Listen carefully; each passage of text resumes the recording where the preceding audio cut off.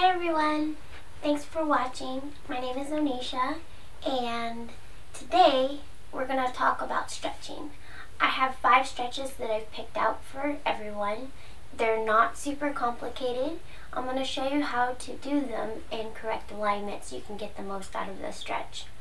I find that a lot of people don't like to stretch with their fitness program or their activity or if they are stretching that they're just not holding the stretches long enough or incorrectly in the position.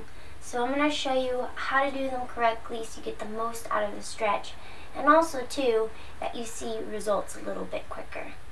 Okay, so you're going to place your feet at a wall and make sure that they're in parallel, not rolling out, that's not good. You want to really push your entire foot against the wall holding your stomach and folding from your hips, create a long line from your tailbone to the top of the head, shoulders down. And just taking your time here, you don't want to force something that doesn't feel natural. Bring your arms, you can put them along the mirror or the wall, and try to feel the stretch through the crown of the head. So it's like you're reaching through the top of the head, increasing the length of your spine. Now you should feel this stretch in your hamstrings all the way from the sit bones. If you're really tight, your knees might bend. Um, for my tight hamstring people, you could bring your feet a little bit wider. And hold that stretch for about one minute. Okay, so you're gonna fold your mat to protect your knees. Um, if you don't need to do this, it's okay. This one's a bit tricky, so make sure you're looking at the placement. Don't put any weight on your knee. You want to put it on the inside of the thigh. And you, that way you can stretch better and not be in pain. You're going to bring your legs out to about a 90 degree angle. And if you notice, I'm bringing my stomach in. Pull your tummy muscles in, abdominals in. And your pelvis is in line with the knees. So notice it's a nice 90 degree angle. I can't emphasize that enough. And from here, I'm really trying to push down. I'm using my glutes to push the inner thighs forward towards the ground. A lot of us don't recognize, but our hips get really tight from sitting at a desk. Now you also, like I like to use weights, so I put, I think these are 2.5 pounds, so 5 pounds total. It might be 10 pounds, but we're whatever you can handle. You put them on the lower back. Again, suck in the belly, and you'll see that the inner thighs slowly release towards the floor.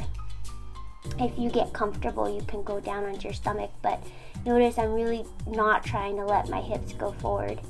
Now this one you can hold from one to two minutes, but sometimes I, if I'm really tight, I'll go up to three to five minutes. It just depends on how tight and how long you can hold the stretch. And just try to stay there and not fidget around. And that's it. Come out safely. Alright, so for this next one, make sure your elbows are together. I'm showing the correct position before I go down. Elbows not apart, not good for your shoulder joint, so keep your elbows kind of squeezing together for the next stretch. Okay, so next we have an upper back stretch. If you have an injury, again, please be careful. You're gonna make sure that your hip joint or over your knee joint. Then, oh yes, don't have your hips forward of your knees or you're just gonna get out of alignment. You're not gonna feel the stretch as well. So I'm going down. Now some of you might be a little bit higher where you're more on your elbows, so just put more cushioning there if you need to. And you just let the chest relax. I'm actively pushing my forearms and my palms together. And this is definite stretch in your upper back, your neck, your cervical spine, and also in your shoulder joint. So you're attacking a lot of areas. For shoulder stretches, I would do maybe 30 seconds. You don't have to go as long, but go longer than what I showed. Okay, so you're gonna wanna fold over your mat, especially my friends who are sensitive. We're gonna bring the shin up to the wall, all the way flush to the wall. So again, if you have sensitive knees, put an extra towel, fold over your yoga mat more than once if it's thin. Then you're gonna take one leg at a time up onto the wall. Make sure the toes are pointing up to the ceiling and step one leg forward. From here, again, suck in your belly. Oh, don't bring your butt to your heel. You want to have separation between your behind and your foot. Now, if you can bring your hands to your knee, here's some alternate positions with your arms. You can bring your arms up, which increases the stretch. Or you can bring your hands to your back. I'm, I'm slightly pushing here, so if you want more of a stretch, you push on the back of your hips. Now this is just for some of you who are a bit more flexible. Bring your left leg forward, you can split. But notice I'm not letting the back leg turn out. I'm really trying to keep it in parallel. And this one you want to hold about two minutes, one minute to two minutes, depending on where you are, your stamina. And push your hip, opening up the hip flexors all the way down towards the floor. And I'm really pulling in the waist. You're lifting up. I'm not trying to let the lower back arch. So that's about it. Carefully come out of it and you'll feel your hips way more open. So this last one, I wanted to get your back, uh, but not your traditional back bend. I think everybody knows how to do a back bend or a bridge. If you don't, we can do another stretch later.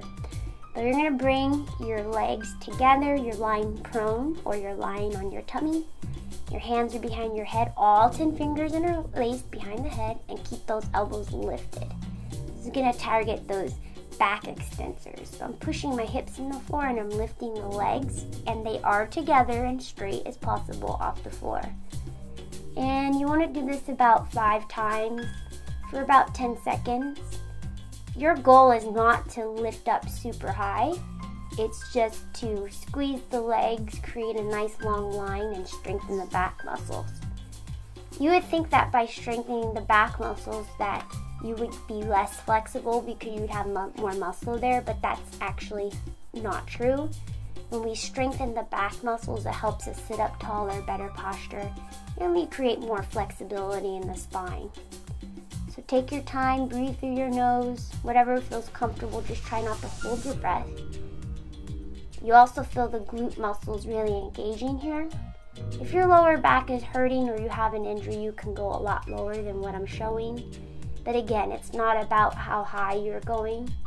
And then the last one, you can straighten your, separate your legs, excuse me, and then bring your chest nice and high. And then relax down. And then when you're done, take your hands by your sides. You all know how to do a child's pose, but Always stretch your back out after back extension. Push your hips into your heels and just relax. Stretch the spine the opposite way. And that's it. So, I hope that was helpful. I hope that you're able to try some of these, if not all of the stretches. Um, let me know how they feel. Um, maybe you have your own favorite stretch. Let me know in the comments below. Please subscribe, and thanks for tuning in to Oni Power. Peace. Hi everyone. Don't forget to subscribe and check out my last review on Yoga Schmoga clothing.